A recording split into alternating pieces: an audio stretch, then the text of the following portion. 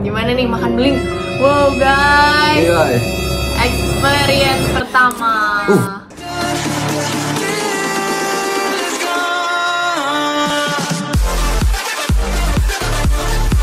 Hai guys, welcome back to our channel. Sebelum kalian nonton video ini, jangan lupa untuk subscribe dan nyalakan lonceng notifikasi agar kalian selalu update dengan keseruan-keseruan lainnya. Nah, kalian pasti udah gak asing dong dengan pesulap-sulap yang biasanya sukanya nih makan beling nih guys. Atau enggak makan pecahan kaca, wih pasti keren banget kan? Nah jadi kali ini kita juga bakal ngikutin makan kaca guys. Makan kaca, emang hari Iya ini dong, keren makan kaca? banget kan? Mau, gak mau, aku Eh, gak mau ikut, aku Jangan dong, jangan pergi dulu sih Duduk dulu, duduk dulu. Jangan panik, jangan panik Duduk dulu, kita duduk dulu. Jadi kali ini kita bakal makan kaca nih. Pokoknya benar-benar aman untuk dikonsumsi untuk segala usia guys. Sih bisa beling bisa buat segala usia nggak mau aku Iya, nggak mau bener kamu aja dong. yang makan Ya udah nggak apa-apa. Jadi kali ini biarin aku yang jadi kelinci percobaan ini nah guys. biarin aku yang makan duluan pokoknya Tapi kalau misalkan aku udah makan, kamu harus makan ya? ya bahaya lah Enggak dong. Pokoknya dijamin aman deh.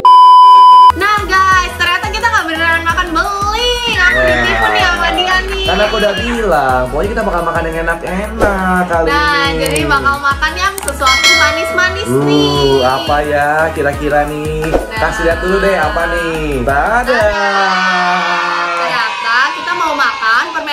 Tapi kita akan panasin di oven menggunakan ini. Nanti bentuknya bakal mirip banget dengan kaca dan kita akan pecah-pecahin sehingga mirip dengan pecahan beling. Kalian bisa gunain dua tipe permen nih guys, antara permen relaksa atau permen kiss. Jadi kita bakal masukin dulu permen relaksanya ke dalam wadah ini. Nah, setelah itu kita bakal oven nih guys. Ya udah guys, nggak usah lama-lama lagi nih guys. Kalian pasti pada penasaran kan? Jangan lupa tonton sampai habis ya. Yuk langsung kita mulai aja eksperimennya. Kali ini kita akan susun dulu permen relaksanya. Bentuk yang kita pilih adalah kotak. Untuk bentuknya sendiri itu bebas banget guys. Jadi kalau kalian mau bentuknya hati pakai cetakan hati. Kalaupun ada cetakan yang lain juga terserah bebas banget tergantung kreasi kalian. Setelah itu, kita akan masukkan ke dalam oven. Untuk suhunya sendiri, ini bebas banget tergantung kalian. Tapi yang kita pakai 100 derajat Celcius dengan waktu 10 menit. Setelah permen relaksanya mencair seperti ini, kita akan bentuk menggunakan garpu sehingga mirip dengan pecahan beling.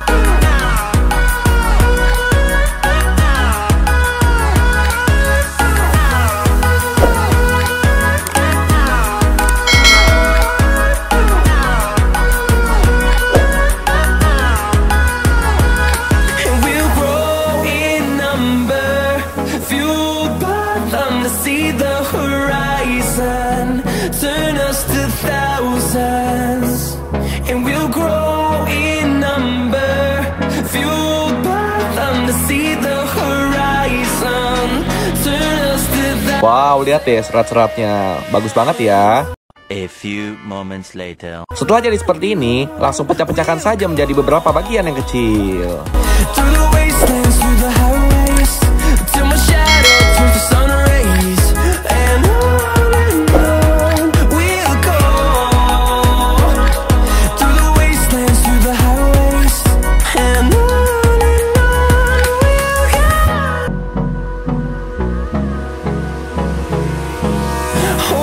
Close till I get up.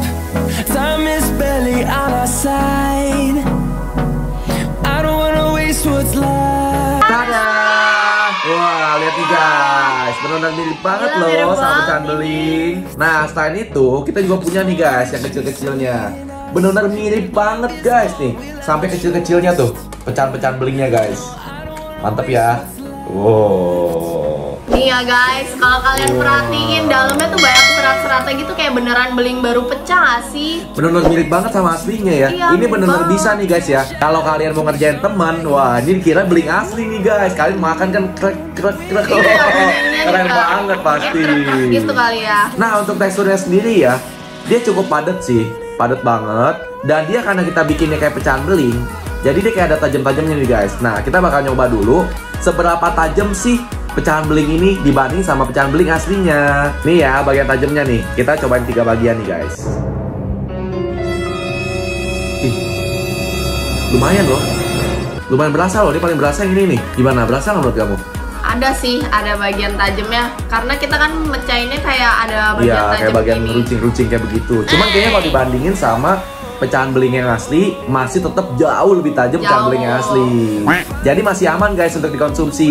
Dan kalian untuk bentuknya, kalian benar-benar bebas banget sesuai dengan kemauan kalian mau bentuknya apa guys. Jadi kalau misalnya kalian mau bentuknya hati, bikin pakai cetakan hati. Mau bikin bentuknya bulat, mau bikin kotak, persegi panjang, lonjong, semuanya bebas guys. Selain dari bentuknya yang padat, kalau kita pegang tuh masih lengket-lengket gitu nih, kayak Iya, nempel di tangan benar. gitu. Masih Soalnya kan ya. terbuat dari permen. Nah untuk rasanya nih kita bakal cobain apakah relaksa yang udah di oven rasanya bakal berubah nih guys.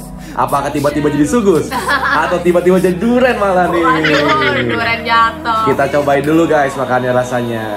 Aduh, gimana nih makan beling? Wow guys, Ini guys. experience pertama. Uh. Dengar nggak bunyi bunyinya itu loh? Kayak kayak beling. Kayak beling banget kayak kita Iya, iya. minum kaca guys. Hmm. Hmm. Wow. Hmm. Wow. Rasanya. Hmm. Hmm. Nggak kayak apa? Tetap relaksan guys.